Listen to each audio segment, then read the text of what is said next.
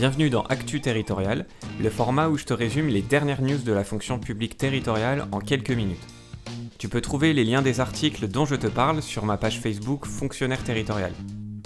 Alors pour ce nouvel épisode d'Actu Territorial, on commence avec un article de la Gazette.fr. Le 28 juin dernier, c'était les 11e assises de la protection de l'enfant, et il y a eu une manifestation à l'ouverture euh, de ces assises, et la revendication euh, principale de ces manifestants, qui sont des, euh, bah, des professionnels de l'enfance, c'est euh, bah, d'avoir plus de moyens. Alors dans l'article, on nous explique un peu bah, la manifestation.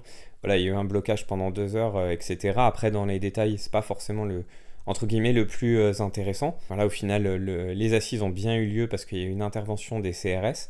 Mais ce qui est intéressant derrière, bien sûr, c'est le fond. pourquoi il y avait cette manifestation? Et finalement, derrière, il y a un malaise quand même dans la profession de l'enfance. C'est ce que révèle notamment une étude menée par l'Observatoire national de l'action sociale et qui a été présentée pendant le colloque. Il y avait notamment une question sur euh, la confiance qui bah, demandait tout simplement si euh, aux professionnels, donc euh, des travailleurs sociaux, des assistants familiaux, des magistrats, etc., si ces professionnels étaient confiants ou inquiets des objectifs visés par la protection de l'enfance. Et donc il y a seulement 32% de ces gens qui se disent confiants alors qu'ils étaient 55% il y a un an. C'est ce qui est indiqué hein, ici euh, dans, l'article. Donc on voit bien que ce chiffre a considérablement baissé et puis et reflète donc une, crise de confiance, comme le dit euh, le président de l'Audace. Et il ajoute qu'il euh, faut réinventer la protection de l'enfance, mais que ce n'est pas qu'une question de moyens. Et c'est là où est tout le, tout le problème, toute la confrontation. C'est qu'on va avoir d'un côté des gens qui défendent un changement de pratique, euh, et de l'autre côté, on va avoir des gens qui disent euh, Ok, pourquoi pas des changements de pratique, mais il y a quand même sur le fond un euh, problème de moyens. Donc, c'est une problématique qui concerne notamment pour nous à la territoriale les départements, mais également les communes. Et donc, il serait intéressant de suivre ce dossier, même si pour l'instant, en termes de. Bah, d'augmentation de, moyens, il n'y a, a pas du tout de déclaration euh, ni par l'exécutif, ni par les collectivités qui vont dans ce sens. C'est plutôt, on est plutôt sur des changements de pratiques. Donc voilà, à suivre. Ensuite, un autre article sur le courrier des maires à propos de la désertification médicale. En effet, la santé, c'est une compétence nationale, hein, c'est une compétence de l'État. Certains parlent même de compétences régaliennes. Bon, après ça, ça se discute sur, euh, la définition. Mais euh, toujours est-il que l'Assemblée nationale a auditionné les représentants des trois grandes associations euh, d'élus locaux qui ont pu proposer leurs solutions pour, euh, avoir, bah, que les Français aient tout simplement un meilleur accès aux soins. Donc on voit que les collectivités sont quand même concernées par bah, cette question de santé. L'État prend véritablement en considération euh, les solutions que peuvent apporter les collectivités. C'est vrai que c'est intéressant pour l'État d'avoir euh, l'avis de certaines euh, collectivités, puisque ce sont elles au quotidien qui peuvent constater la pénurie des soins dans certains territoires, et donc elles peuvent avoir un, regard aiguisé, c'est ce que nous dit l'auteur de, de l'article, sur les solutions à imaginer. Et donc chacune des trois associations a fait des propositions. Donc l'association des maires ruraux de France, la MRF, a euh, proposé, en gros son idée, c'est de travailler en amont sur les externes en médecine. Donc ce qui est proposé, c'est que euh, les externes puissent faire leur stage en milieu rural. Alors euh, là actuellement c'est compliqué parce que souvent les externes ont des petits boulots, donc petits boulots qui sont souvent hein, en ville, et c'est pour ça aussi, c'est une des raisons pour lesquelles il est compliqué pour eux au niveau financier tout simplement d'aller faire leur stage en milieu rural. Donc la proposition de pouvoir euh, financer les externes pour leur stage en milieu rural est quelque chose qui semble aller de soi et qui pourrait donner envie euh, à ces jeunes médecins ou futurs médecins de, se faire une première expérience dans, euh, bah, dans la ruralité. Et puis il y a une deuxième proposition qui est plus, plus audacieuse, on va dire, c'est, ce serait de limiter pour une durée donnée le conventionnement des médecins généralistes qui s'installent dans des zones correctement dotées, donc dans des zones plus urbaines hein, typiquement.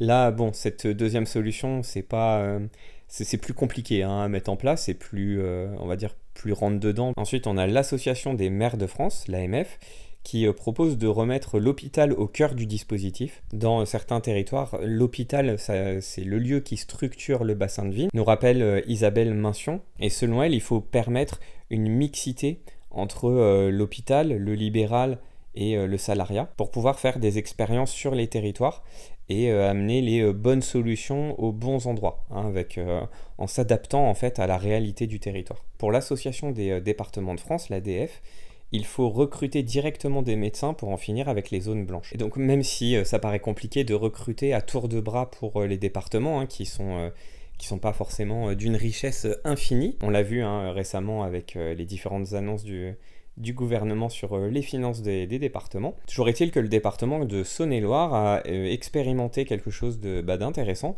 c'est de recruter directement des médecins euh, généralistes et de les répartir sur, sur tout le département. Et donc il y aurait une dizaine de médecins qui ont signé ce contrat de 3 ans avec le département sur euh, une base de salaire entre 4600 et 7000 euros euh, net. Et à la fin des trois ans, les euh, médecins ont, bah, peuvent re-signer avec le département ou s'installer en libéral avec leur patientèle qui finalement aura déjà été constituée pendant ces trois premières années. Donc voilà, c'est pas mal, c'est même sur le papier en tout cas, c'est très bien de pouvoir relancer comme ça des zones faiblement peuplées en médecins, de donner ce coup de pouce à travers un financement local et euh, de voir si ça prend ou pas, et de voir si euh, derrière le, jeune médecin à la fin des trois ans euh, pense pouvoir s'y retrouver derrière en libéral, pense que sa patientèle est suffisante, voir si ça lui plaît aussi de travailler dans un milieu rural et de créer véritablement son cabinet.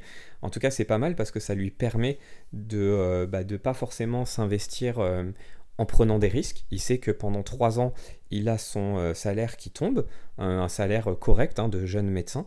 Et puis, euh, au pire, euh, si ça lui plaît pas, au bout de trois ans, il s'en va. Mais en tout cas, ça crée une véritable dynamique euh, dans les départements concernés. Voilà donc pour ces trois solutions amenées par différentes associations de collectivités. Donc on voit bien à travers ces exemples que même si la santé est une compétence d'État, eh bien les, les, collectivités peuvent faire des choses tout à fait intéressantes. Ensuite, un article sur euh, la lettre du cadre.fr. Alors on reparle d'action cœur de ville, c'est quelque chose dont on a pas mal euh, parlé euh, ces derniers temps, ces dernières semaines. Et là l'auteur de l'article nous dit que c'est un dispositif qui rend les maires heureux. Donc bah super, enfin un peu de bonnes nouvelles, un peu de joie entre l'État et les collectivités. Hein, en ce moment c'est pas forcément l'état d'esprit qui domine, mais sur ce dispositif en tout cas, il y a vraiment un consensus des élus locaux qui sont très contents pour ceux qui peuvent, bah, pour les élus des 222 villes qui participent à, ça, eh bien, ils sont tous euh, très contents. Ils, euh, parlent tous bah, d'un facilitateur euh, en utilisant donc ce dispositif. Donc pour rappel, ce plan de revitalisation des centres-villes concerne surtout des villes de 15 000 à 100 000 habitants et qui ont une fonction de centralité. Et ce qui est intéressant notamment avec ce plan, c'est qu'il est simple d'emploi et qu'il permet d'aider des communes qui n'ont pas d'ingénierie, qui n'ont pas en tout cas de moyens pour euh, avoir ce type de service. Toujours pour rappel, l'objectif c'est euh, bah, de, de, combattre la concurrence des zones d'activité commerciale et des zones pavillonnaires euh, qui euh, dénature un petit peu les centres-villes, ou en tout cas qui les vide. Et donc dans cette boîte à outils du dispositif, il y a plusieurs choses, notamment des aides pour euh, acquérir ou réhabiliter des logements, pour améliorer aussi leur performance énergétique, c'est ce qu'on trouve là dans ce paragraphe-là, de développer de nouvelles offres commerciales en centre-ville. C'est vrai que les commerces sont bah, dans ce type de centre-ville, c'est compliqué pour eux, d'aller vers plus de numérique et bah, de simplifier les démarches en centre-ville. Et ce qui est intéressant dans, ce, dans cet article, parce que là c'est des choses euh, dont on a déjà parlé en fait dans Actu Territorial, mais là par exemple c'est on a l'exemple de Niort euh, qui, euh, bah, qui a commencé déjà un petit peu à, travailler là-dessus. Et donc on nous dit que la convention pluriannuelle a récemment été approuvée au conseil municipal et on a 11 actions qui sont euh, mises en avant dans ce cadre-là. Donc ça va du programme de requalification du parc immobilier ancien à une galerie, au passage du commerce, d'une technopole numérique, etc. Et en fait ces projets qui étaient déjà existants vont être amplifiés avec Action Cœur de Ville, puisque les financements sont assurés. Donc en fait, Action Cœur de Ville, ça peut être aussi perçu par les collectivités comme un levier, c'est-à-dire euh, c'est pas forcément on passe de euh, aucun projet à euh, des petits projets qui sont possibles parce qu'on a un peu de financement. Ça peut être aussi, bon, on avait quelque chose qui était prévu, mais là on passe à la vitesse supérieure puisqu'on se rend compte qu'on va avoir plus de moyens pour réaliser ces projets. Donc il peut avoir un effet démultiplicateur des effets positifs attendus.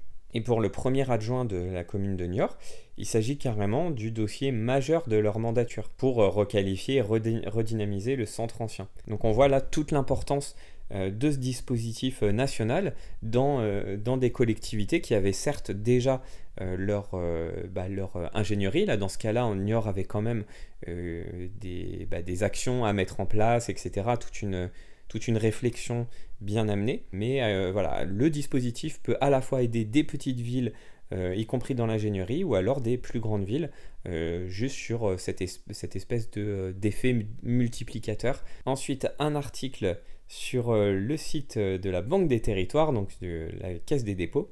Et donc on nous apprend, on le sentait hein, venir, mais que la conférence nationale des territoires se tiendra sans les trois principales associations d'élus locaux, donc euh, Région de France, euh, l'ADF et l'AMF. Et donc le 3 juillet euh, dernier, elles ont officiellement annoncé qu'elles ne participeraient pas à cette conférence ainsi qu'aux travaux préalables. Et la raison, on le savait déjà, hein, c'est le manque d'écoute de la part de l'exécutif et de sa politique qualifiée de recentralisatrice. Et on nous a indiqué que ce qui avait fait déborder le vase, c'est la manière dont avait été négocié euh, des choses en fait sur les euh, mineurs non accompagnés et sur le financement des allocations individuelles de solidarité. Donc ce sont des dossiers qui euh, concernent plutôt les départements. Donc l'ADF avait signé fait en premier qu'elle ne participerait pas à la conférence, mais dans un deuxième temps, donc Région de France et l'AMF ont signalé bah, qu'elles étaient solidaires des départements et qu'elles se joignaient à, elles dans ce boycott. Les trois associations sont d'accord pour de véritable recentralisation de toutes les politiques. Certains parlent d'un État tout-puissant à l'image de ce qui se passait dans les années 60-70, ou euh, certains parlent de bonapartisme. Bref, euh, vraiment, il y a un sentiment dans ces trois associations bah, de manque de dialogue et que vraiment les décisions sont prises de façon unilatérale par l'État et que euh, les collectivités n'ont pas leur mot à dire. Et ce qui est problématique, puisqu'en ce moment, on sait qu'il y a différents dossiers importants pour les collectivités donc euh, si elles sentent qu'elles n'ont pas euh, de leur mot à dire, euh, c'est forcément compliqué pour elles. Et notamment ce qu'elles réclament depuis longtemps, mais qui n'est pas forcément dans les petits papiers de l'État, c'est de garantir l'autonomie fiscale locale. Notamment, hein, on le sait, là, il va y avoir une révision de la Constitution, et donc les collectivités souhaitent que la garantie, enfin que l'autonomie fiscale locale soit constitutionnelle. Vu ce que dit l'exécutif, on se dirige pas forcément vers ça, mais bon, on sait jamais. Et puis sur la question du boycott, en fait, le bloc communal, lui, est divisé, même si on a l'AMF, euh, l'Association des maires de France, euh, participe à ce boycott. On sait que les représentants de Ville-de-France, de France urbaine ou de l'Assemblée des communautés de France euh, vont, ou même, j'en avais oublié un ici, de l'Association des petites villes de France, la PVF, seront, seront présents à la conférence nationale des territoires. Mais en tout cas, le fait qu'il y ait quand même ces trois associations les plus les principales hein, en fait, c'est quand même un signe fort euh, de, division entre l'État et les collectivités. Et c'est un signe d'autant plus fort qu'on sait que euh, avec euh, cette, idée de transfert de foncier bâti, tu sais, si tu suis un peu les vidéos du, département au bloc communal, donc ce qui, vaut un peu de tension entre ces deux collectivités, ces deux niveaux de collectivité, eh bien, bah, le fait qu'ils soient solidaires, que l'AMF soit solidaire de, l'ADF euh, pour euh, boycotter euh, la conférence nationale des territoires, c'est quand même un signe fort. Et donc il y a quand même de quoi s'inquiéter pour la suite du dialogue entre l'État et les collectivités pour ces dossiers qui sont quand même très intéressants et importants. la fiscalité locale, c'est quand même, bah, c'est pas rien hein, comme sujet, c'est un sujet vraiment d'inquiétude pour les collectivités et aussi pour l'État en termes purement financiers. Donc à suivre courant juillet, on aura pas mal de choses bah, à commenter, euh, notamment la conférence nationale des, territoires. On verra ce qu'annoncera le, président avec justement euh, ces, ces, nombreuses chaises vides en face de lui. Et enfin, un dernier article sur la gazette.fr à propos des aides sociales qui sont incontestablement efficaces selon Jérôme Vignon, qui est le président de l'Observatoire national de la pauvreté et de l'exclusion sociale. Alors pourquoi j'ai sélectionné cet article? Parce que euh, les, aides sociales, c'est plutôt l'État, tu pourrais me dire. Euh, alors oui et non, euh, ça concerne également les départements. Donc euh, voilà, donc c'est pour ça que j'ai voulu aussi présenter cet article où donc Jérôme Vignon nous indique que le montant des, aides sociales, c'est environ 84-90 milliards d'euros, et ce qui, représente, ce qui représente 14% de la totalité des dépenses de redistribution sociale. L'idée là, qui veut dire derrière, c'est de, de minimiser un peu ce qu'on bah, qu'on appelle les aides sociales en disant ah c'est énorme, ça nous coûte cher, etc. C'est seulement entre guillemets 14% de la totalité des dépenses de redistribution sociale. Et ce que lui appelle, enfin ce qu'on appelle redistribution euh, sociale, c'est euh, par exemple, c'est euh, bien sûr les aides sociales au sens qu'on connaît, RSA, etc. Mais c'est également par exemple les retraites. Et donc au final, on se rend compte que c'est un pourcentage assez minime de la redistribution sociale. Et il fait un parallèle de ce chiffre, donc qui est 14%, qui est également le, même en fait sur le taux de pauvreté. Hein, donc c'est-à-dire le nombre de personnes qui ont 1000 euros par mois ou moins euh, pour une personne seule. Donc pour lui, ça lui, c'est pas déraisonnable euh, ce chiffre hein, annuel de 84-90 milliards d'euros. Il rappelle euh, d'ailleurs que ces aides sont efficaces pour lutter contre la pauvreté, puisque si on n'avait pas ces aides sociales, eh bien le taux de pauvreté serait pas de 14% mais de 20%, ce qui n'est pas du tout négligeable, 6 hein, points. Là on parle en termes statistiques, mais 6 points ça représente beaucoup de personnes, peut-être des centaines de milliers ou un million, je ne sais pas, j'ai pas fait le calcul, mais c'est quand même euh, assez énorme. Et il nous rappelle aussi que dans la lutte contre la pauvreté, il y a trois piliers. Il y a euh, le fait d'avoir des ressources minimales garanties, un accompagnant vers et dans l'emploi, et euh, l'accès effectif aux services de base de la vie courante, le logement, la santé, l'éducation. La Gazette lui demande, parmi ces trois piliers, qu'est-ce qui ne fonctionne pas en France? Et selon lui, c'est euh, la politique active de l'emploi qui euh, ne fonctionne pas très bien. Entre 2008 et 2016, le chômage de longue durée a presque doublé. Et là où ça concerne directement les collectivités, et notamment bah, les départements, euh, c'est que bah, l'accompagnement vers l'emploi, c'est un gros enjeu pour les départements, mais que c'est très complexe pour eux, parce que d'un côté, il y a des dépenses croissantes en termes sociaux, et en même temps, on le voit au fur et à mesure des articles, une exigence d'économie imposées par l'État.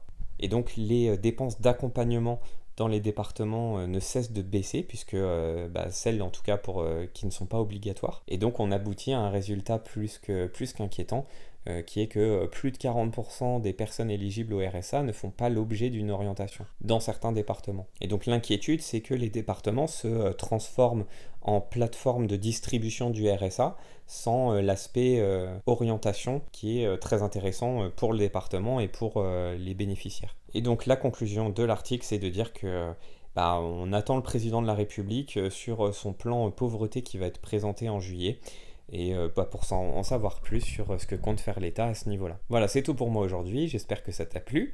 Et euh, bah, je t'invite à liker, commenter, partager. C'est vrai que Actu Territorial, ça fait pas énormément de vues par rapport à mes autres vidéos, mais c'est pas grave, ça me plaît bien de le faire. Et puis pour le peu d'entre vous, bah, j'ai plutôt des commentaires positifs, donc voilà, je vais, je vais continuer. Mais en tout cas, voilà, si ça vous a plu et que vous voulez m'aider à, à, faire connaître un peu le truc, eh ben n'hésitez pas à partager, notamment sur Facebook, ça me fera toujours plaisir. Donc euh, voilà, je vous dis à bientôt pour une prochaine vidéo. Salut